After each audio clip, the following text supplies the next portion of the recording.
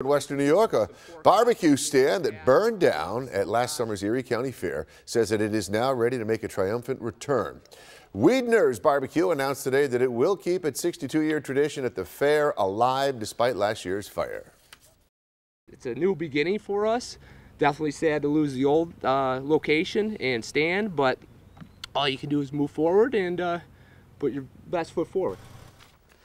Yeah, Wiedner's is going to be getting a new location this year. You're going to find it on the Avenue of Flags right near the Conservation Building. The 179th Erie County Fair starts August 8th, just 62 days away. It's right around the corner. Oh, my goodness. We love a good comeback, though, don't we? Mm. Yeah, we do. Wiedner's, very Yeah. good. Good barbecue. I only had one thought about stoking up the barbecue over the past couple days. It was just to stay warm, Kevin. a little bit chilly outside this morning. I, you know, we try to put on some air conditioning in this room, and I got to tell you, it's got to be like 90 in here, and then Miss Demler will walk in and say, "Oh, it's just perfect. We're dripping wet over here." Yipper. Everybody's been talking about Chick Fil A. I love Wiener's oh, barbecue. very good. The Erie County Fair, you got to have it. Mm-hmm. You get, you get your, your fried dough and you go get your chicken and you kind of put the whole thing together. It's going to be a great weekend. I promised it. Let's get to it. Partly cloudy tonight. We're going down to 55 degrees and a southwest breeze. That's a little bit of warmer air coming up.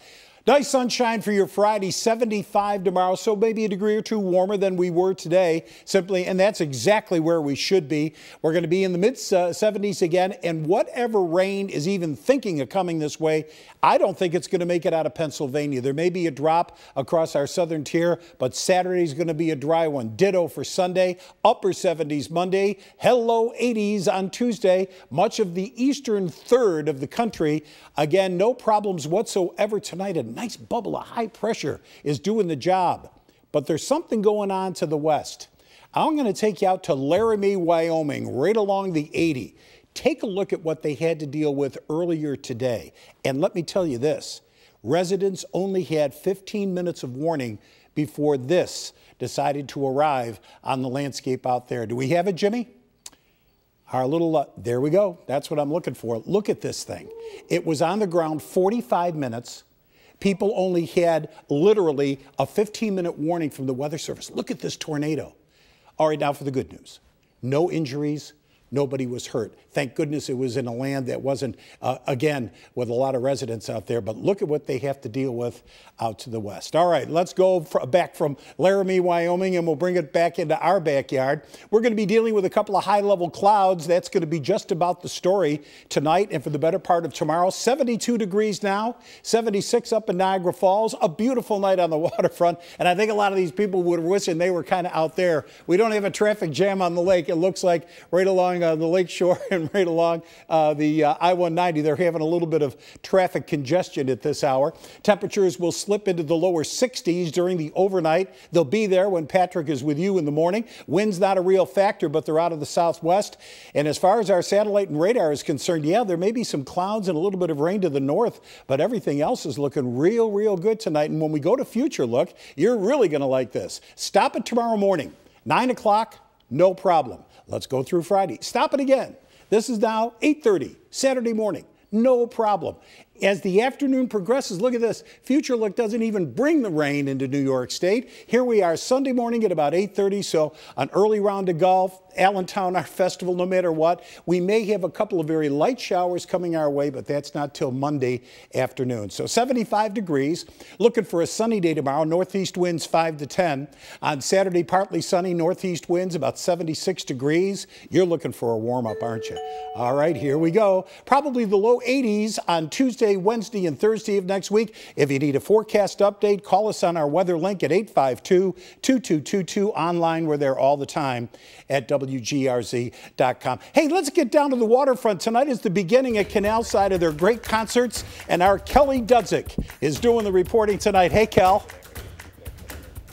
So, Kevin, we had to move a little bit away from Canal Side. We're near Templeton Landing because the music during the sound check wasn't super family friendly and we couldn't put it on TV. But there is one security change you need to know about for this year.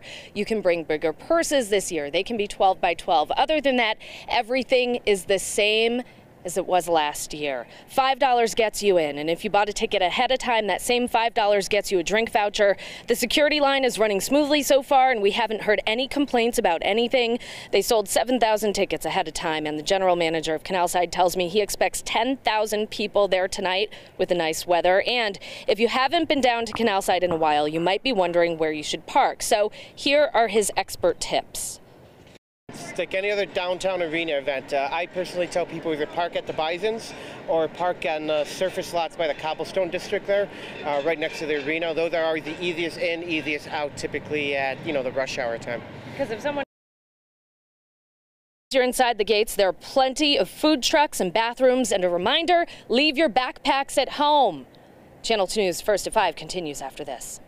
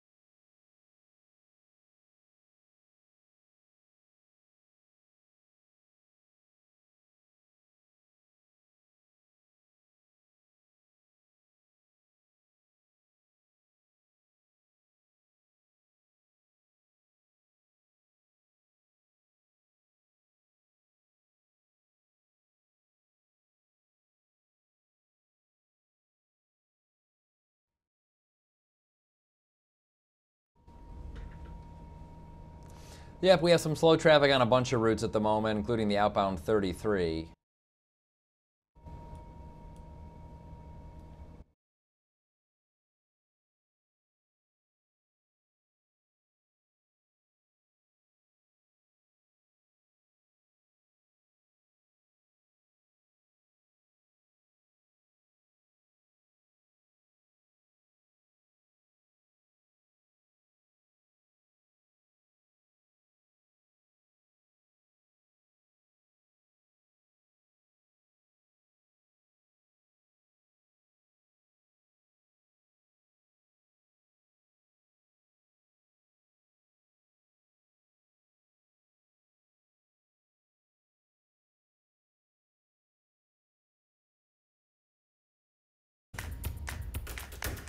Good afternoon, everyone. I'm Paul Hare, live at the NFTA. Looking at the 190 South over here on the far side of the screen, really slow through the downtown area. The delays start right near the Scajaquada. We did just clear an accident here uh, at Church Street, uh, but the delays continue for several miles beyond this, all the way to the 90 interchange. 190 North also would a crawl out of the downtown area all the way to the Peace Bridge. Then it clears out, then really slow again when you get closer to Grand Island.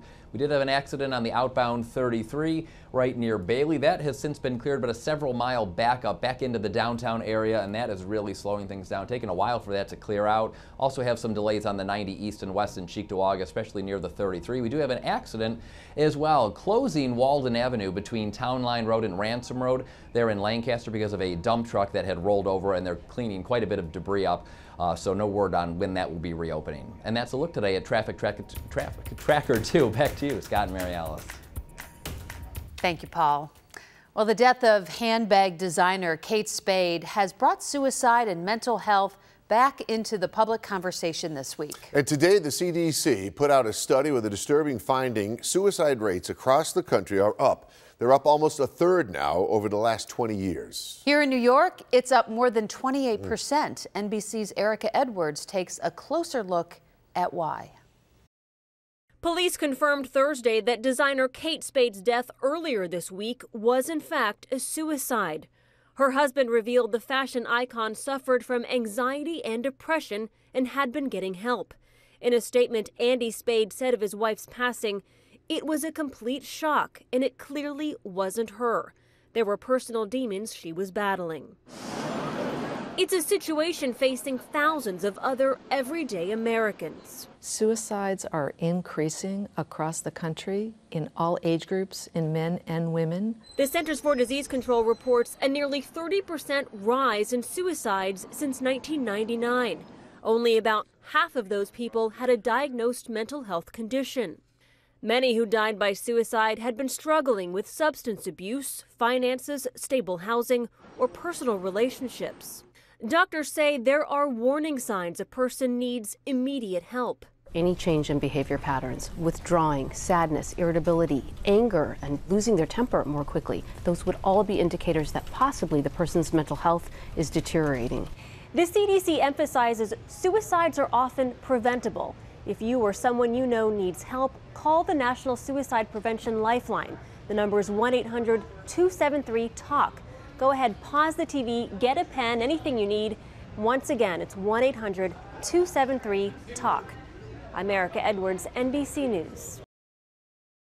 Well, thank you, Erica. And again, there's always help there for people who have thought about suicide. Right here in the Buffalo area, you can call the Crisis Services Hotline to talk to someone anytime you need to. That number to call, and it's 24 7 834 3131.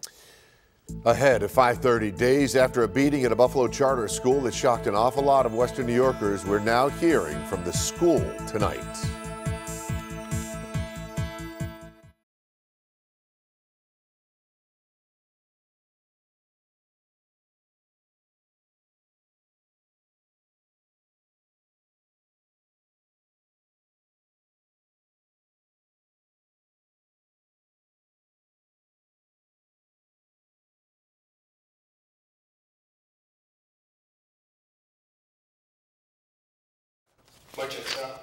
Check one, two, one, two, one, two. We're staying there. Test one, two. Test one, two.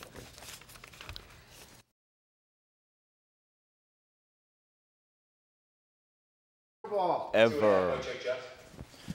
Three, two, one. Mike check. Mike check. Poor girl. Well, A one and a two and a one, two, three, four. Did that? Uh, did I not give you a good enough clue, uh, cue on that uh, tornado stuff, Jimmy?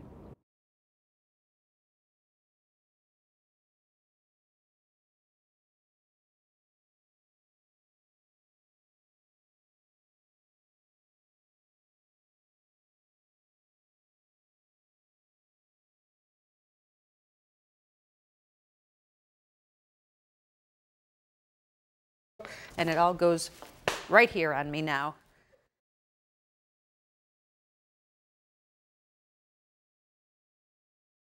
Slamming my metabolism to a halt. Oh, ah, boy. 90.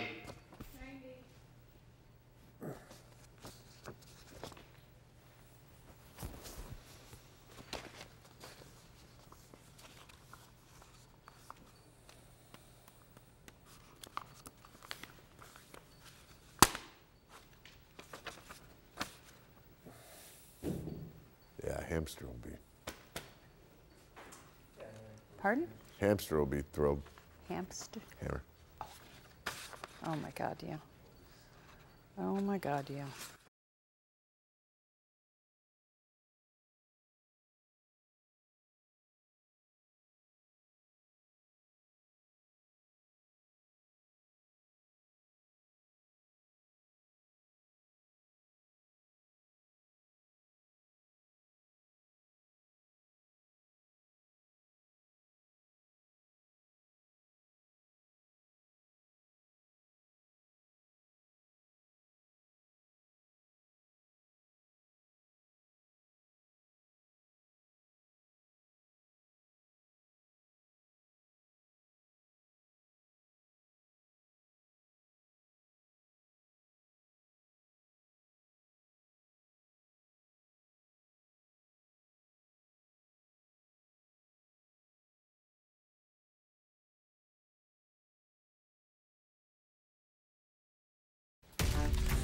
Right now on Channel 2 News at 5:30, we are working now to get more answers about a brutal case of bullying that's caught Western New York's attention. Plus, history in the skies over Western New York with a huge event ready to take off this weekend. And the incredible connection between a police officer and the man that he pulled over that neither of them ever saw coming.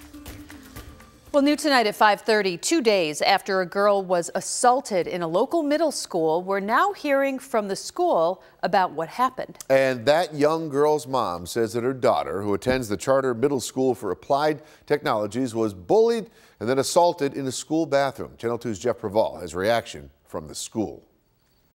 Carla Warren says her daughter Twana still gets dizzy two days after suffering a head injury in an alleged bullying incident at the Charter Middle School for Applied Technologies. This was an extreme, horrible assault on my daughter. Warren says two girls known for bullying went into the bathroom, saw Twana, and attacked her. One girl pushing Twana into a sink, causing a large gash on her forehead.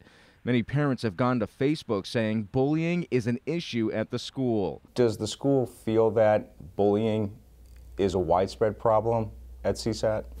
No, we don't feel that that is something that is on the forefront every day. We have parents coming forward saying that there's been instances of bullying. Uh, those instances are not being reported back to us as administrators. School leaders say what happened Tuesday had nothing to do with bullying. That was students who were, in essence, horseplaying. It escalated into an assault. Allen says there were other students who witnessed what happened in the bathroom and say that the students were all laughing and joking, and then things got heated. Twana's mom says her daughter was left in a pool of blood for 10 minutes, but the school says that isn't true either. Within two minutes, a teacher was in there and had called the appropriate medical response team. Twana is being seen by doctors and wants to go back to school, but her mom isn't so sure about that back at CSAT. Is Charter School for Applied Technologies taking any steps to change how it does things? Right now, we're not taking any steps to change anything as much as we are communicating what should be done in the case of, of a, if a parent has an issue. Now, that includes parents reporting a bullying incident on CSAT's Bully Stop page, counselors will be meeting with all homerooms to speak with students about nonviolence. Meantime, the two other girls involved in the incident have been suspended pending a superintendent's hearing. Now, one of them has been charged with assault, and that case is being handled in family court. I'm Jeff Preval, Channel 2 News.